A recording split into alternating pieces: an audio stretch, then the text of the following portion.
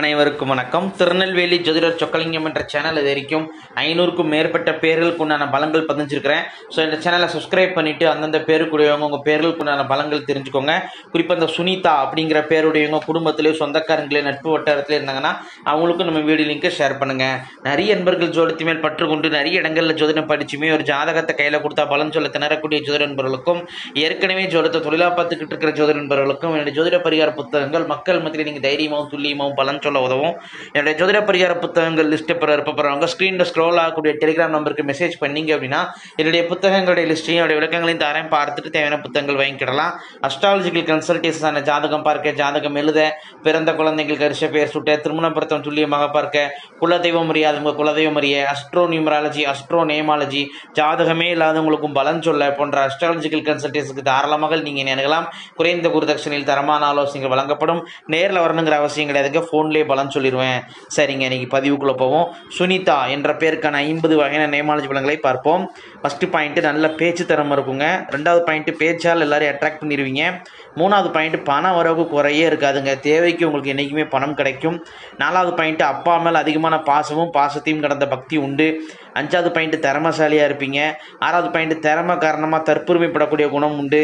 ஏழாவது point travel விரும்பியாக இருப்பீங்க. அடிக்கடி எங்கேயா எங்கேயாவது ட்ராவல் பண்ணிக்கிட்டே இருப்பீங்க. எட்டாவது பாயிண்ட் ஜாலியாக இருப்பீங்க. ஒன்பதாவது பாயிண்ட் உங்கள் வீட்டுக்கு பக்கத்தில் கோவிலோ சர்ச்சோ மசூதியோ ஒரு வழிபாட்டு ஸ்தலம் இருக்குங்க. ஸோ அந்த தேவதையை போய் வழிபட்டுருவாங்க. பத்தாவது பாயிண்ட்டு வீட்டில் வந்து உங்கள் நிர்வாகம் தாங்க உங்கள் கை தான் ஓங்கி இருக்கும். நீங்கள் மேரேஜ் ஆனதுக்கு அப்புறமே கூட ஹஸ்பண்டு கூட உங்கள் சொல் பேச்சு தான் கேட்பாரு. பதினோராவது பாயிண்ட் அப்பா அல்லது தாத்தாவுக்கு ரெண்டு தரம் இருக்குங்க. பன்னெண்டாவது பாயிண்ட் பூரிகை தொட்டு மாறி இருப்பீங்க பதிமூணாவது பாயிண்ட் இளம் வயதிலேயே அப்பாவை இழந்திருப்பீங்க. இல்லைன்னா அப்பாவுக்கு ஹெல்த் பிரச்சனைகள் இருக்கும். பதினாலாவது பாயிண்ட் வெளிநாடு வெளிமாநிலம் செல்லக்கூடிய யோகம் உண்டு. பதினஞ்சாவது பாயிண்ட் அழகானவங்களா இருப்பீங்க. பதினாறாவது பாயிண்ட் எவ்வளோ பணம் சம்பாதிச்சாலும் சேமிப்புங்கிறது இருக்காதுங்க. பதினேழாவது பாயிண்ட் ஏதாவது ஒரு காதல் வந்து உங்களுக்கு ஃபெயிலியர் ஆகக்கூடிய அமைப்புகள் இருக்குதுங்க. பதினெட்டாவது பாயிண்ட் வரட்டு பிடிவாத குணம் உண்டு. பத்தொன்பதாவது பாயிண்ட்டு திருமணம் லேட் ஆகுங்க. லேட் திருமணம் தான் உங்களுக்கு நல்லது. இருபதாவது பாயிண்ட்டு திருமணம் முடி சீக்கிரம் முடிச்சிங்கன்னா திருமண வாழ்க்கையில் திருப்தி இருக்காது. இருபத்தி ஓராவது பாயிண்ட்டு கணவர் வந்து டாமினேட்டடாக இருப்பார். அவர் சொல் பேச்சு தான் கேட்கணும். இப்படி நடக்கும்னு நினைப்பாரு. இருபத்தி ரெண்டாவது பாயிண்ட் கணவருடன் அடிக்கடி சண்டை சச்சரவு உண்டு. இருபத்தி மூணாவது பாயிண்ட் முட்டை பிரியராக இருப்பீங்க. முட்டை ஐட்டம்ஸ் ஆம்பா ஆஃப் ஆம்லேட் ஆஃப் ஆயிலெலாம் ரொம்ப விரும்பி சாப்பிடுவீங்க. இருபத்தி நாலாவது பாயிண்ட் டைஜஷன் ப்ராப்ளம் உண்டு. இருபத்தஞ்சாவது பாயிண்ட் கடன் பிரச்சனை உண்டு. இருபத்தி ஓராவது பாயிண்ட் ஒரு பெண் தேவதையை விரும்பி வழிபடுவீங்க. இருபத்தி ஏழாவது பாயிண்ட் கணவர் வந்து வாய்ப்பேச்சில் திறமசாலியாக இருப்பார். இருபத்தெட்டாவது பாயிண்ட் காது மூக்கு தொண்டை பிரச்சனை இஎன்டி ப்ராப்ளத்தால் அவதிப்படுவீங்க. இருபத்தி ஒன்பதாவது பாயிண்ட் அப்பாவுடன் கருத்து வேறுபாடு உண்டு. முப்பதாவது பாயிண்ட் தாய்மாமா வழியில் அற்ப ஆயுளில் இறந்து போனவங்க கொண்டு அவங்கள நினச்சி நீங்கள் அமாவாசை தோறும் தயிர் சாதாரம் கொடுப்பது உங்களுக்கு சிறப்பை தரும். முப்பத்தி ஓராவது பாயிண்ட்டு கண் பார்வையில் பிரச்சனை கண் சம்மந்தமான ஒரு பிரச்சனைங்கிறது உங்களுக்கு இருக்கும். இருக்குங்க முப்பத்தி ரெண்டாவது பாயிண்ட்டு அடிக்கடி மனசோர்வு மைண்டு டிப்ரெஷனுக்கு ஆளாயிருவீங்க. முப்பத்தி மூணாவது பாயிண்ட்டு வேலையில் டென்ஷன் ப்ரெஷருங்கிறது இருந்துக்கிட்டே இருக்குங்க. முப்பத்தி நாலாவது பாயிண்ட் கூட வேலை பார்க்குறவங்க பகையாவாங்க போட்டு கொடுப்பாங்க உங்களை பற்றி முப்பத்தஞ்சாவது பாயிண்ட்டு ஆண் குழந்தை நினச்ச ஒரு மன கவலை இருக்குங்க. உங்கள்கிட்ட ஒரு ஆண் வாரிசு இல்லைங்கிற கவலையோ இல்லை ஆண் வாரிசு நமக்கு கட்டுப்பட மாட்டேங்கிற கவலையோ உங்களுக்கு இருக்கும்.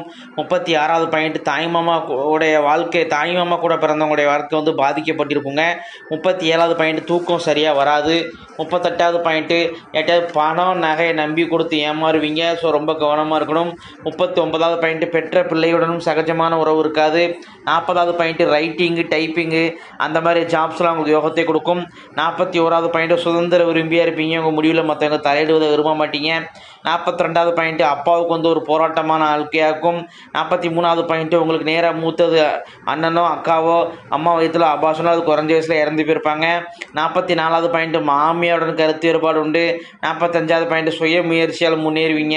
நாற்பத்தாறாவது பாயிண்ட்டு புத்தியால் லாபம் அடைவீங்க நாற்பத்தி ஏழாவது பாயிண்ட் ரெண்டு புத்தி ரெண்டு தானேங்க உண்டுங்க உங்கள்கிட்ட நாற்பத்தெட்டாவது பாயிண்ட் அம்மா வந்து முன்கோபியாக இருப்பாங்க. நாற்பத்தொம்பதாவது பாயிண்ட் இடம் பூமியால் உங்களுக்கு லாபம் உண்டு. ஐம்பதாவது பாயிண்ட்டு உங்களுடைய ஆத்மார்த்தமான தெய்வம் முன் ஜென்மத்தில் நீங்கள் ரொம்ப வேண்டி விரும்பி வழிபட்ட தெய்வம். இந்த ஜென்மத்தை அறவாளிக்க நிற்கிறது யார் அப்படின்னு கேட்டிங்கன்னா மகாலட்சுமி தாயார் தாங்க.